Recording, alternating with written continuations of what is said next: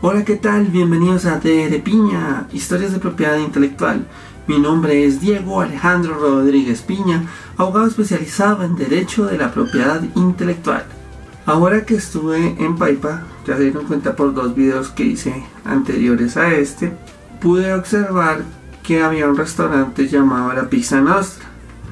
Para los que no saben, que de pronto pues son personas jóvenes, la Pizza Nostra fue un restaurante muy popular en los años 80 y los años 90 en Colombia. Me acuerdo que en los años 80 eh, inclusive regalaban eh, discos de estos pequeños de bueno, acetatos o vinilos, no sé bien cómo, cómo se denominan, de rock en español, cuando estaba el boom del rock en español y también daban como unas especies de tapas que se pegaban al, a la nevera, pero en realidad eran unos destapadores. Y fue muy popular. Incluso tenía una mascota que se llama Pixie, que era como una muñequita. Eh, de un momento a otro, pues uno no volvió a saber de esta pizzería. Y era una de esas marcas icónicas colombianas, como lo era la perra de Edgar, Crispetti Raspado, Domo, Cubano sándwich cubano pues aún existe, pero las otras no. Bueno, antes de continuar pues quiero hacer una advertencia de que pues obviamente por mi especialización y por los asuntos que yo trato, yo hablo mucho de varias marcas. Y la verdad no lo hago porque me contraten o me paguen porque pues, realmente digamos mi canal aún es muy pequeño, no tiene un alcance masivo. Entonces pues ninguna marca comercial pues se va a interesar en contratarme. Entonces, pues, mis opiniones son muy objetivas, obviamente, por esta misma razón. Entonces, continuamos. Había muchas marcas, se me pueden escapar varias, inclusive Betatonio, que por la tecnología o por malas decisiones financieras, como haya sido, desaparecieron. Entonces, ahora que estuve en Paipa, se me hizo muy raro ver una pizza nostra. Entonces yo iba pasando ahí por una calle muy comercial cuando de pronto vi el letrero de pizza nostra y pues le tomé unas fotos y las, las coloco acá. Y yo dije, ve la pizza nostra. Se me vino a la mente pues demasiada nostalgia. Yo quería de pronto hacer un video sobre el queso Paipa y sobre el turismo en sí y la marca Ciudad de Paipa. Pero entonces por el tiempo dije no tengo material, lo voy a hacer después. Pero entonces me puse a pensar y dije, ¿por qué no hacer un programa sobre la pizza nostra? Un video sobre la pizza nostra. Entonces esto es lo que voy a hacer a continuación. Y la pregunta es, ¿qué pasó con la pizza nostra? Entonces me puse a leer al respecto y me enteré que un señor llamado Rafael Cortés compró una franquicia para poner los restaurantes en Boyacá porque pues vio que era una marca novedosa que se podía mover muy bien. Según cuentan los señores Fernando Luna y Armando Tello, que fueron los que iniciaron con la Pizza Nostra en el año de 1975, es más, fue la primera pizzería, el primer restaurante italiano en Bogotá. O sea, por eso era tan icónico, empezó desde los años 70.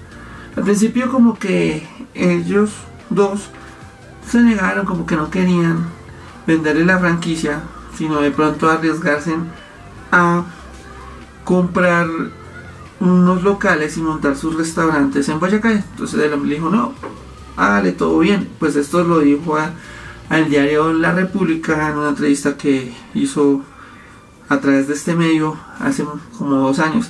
Dijo, no, hágale todo bien que yo miro cómo muevo los restaurantes en Boyacá. Esto fue en el año de 1993. Entonces, pues, ¿qué pasó? La Pizza Nostra tuvo mucho afán de expandirse en ellos solos. Y empezaron a abrir locales a diestra y siniestra. Tuvieron más de 40 locales comerciales. Llegaron a Miami, llegaron a Caracas, llegaron a Santiago llegaron a varias partes de, podríamos decir, del mundo, bueno, por lo menos en América. Y a muchas ciudades de Colombia.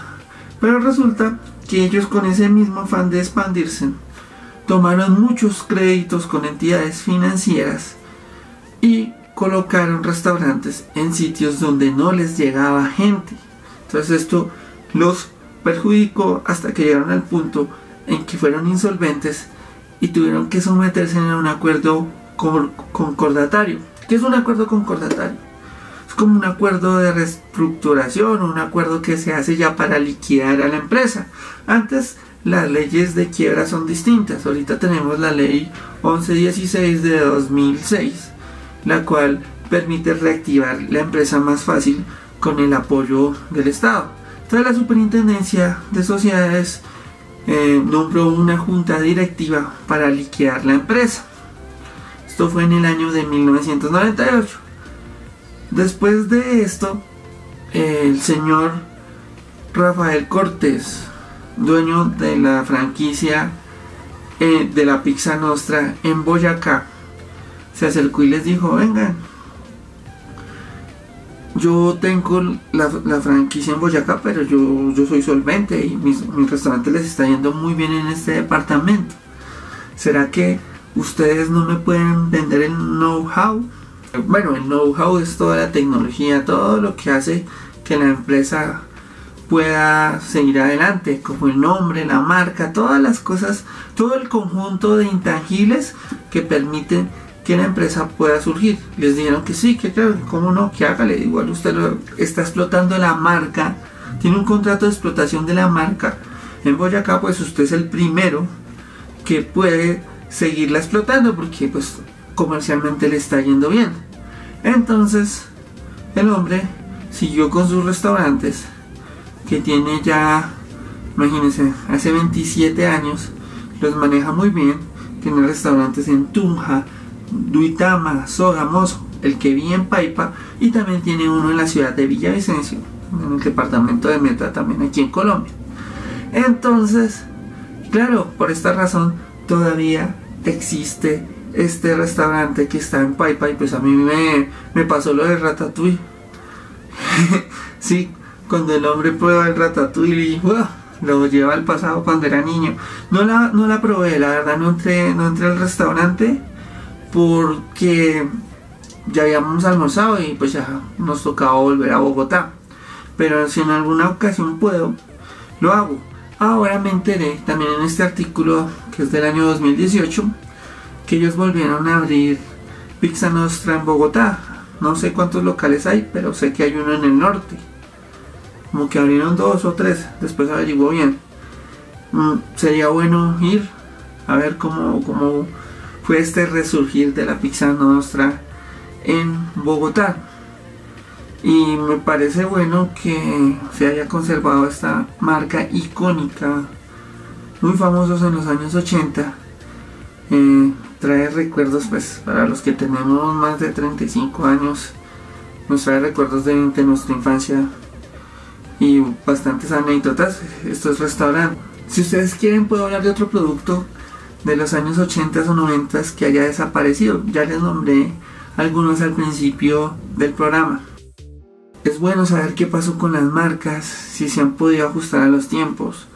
Ahorita pues por esta crisis actual muchas empresas han cerrado y hay otras que se han reinventado. Pero las crisis de toda índole han venido transformando las empresas. Los que no han podido resistir estos cambios por no adaptarse, pues han desaparecido. Pero los que se han podido adaptar han seguido adelante. Espero que les haya gustado este programa. Yo como siempre trayéndoles interesantes historias de propiedad intelectual.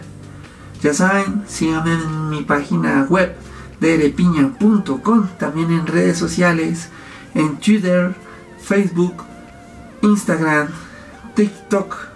En todas me consiguen como de Piña. Les dejo los enlaces aquí. Espero su suscripción. Obviamente like. Los comentarios que quieran. Ojalá sean muy positivos y ojalá me sugieran mucho contenido. Nos vemos en otra ocasión. Chao, chao, bye, bye.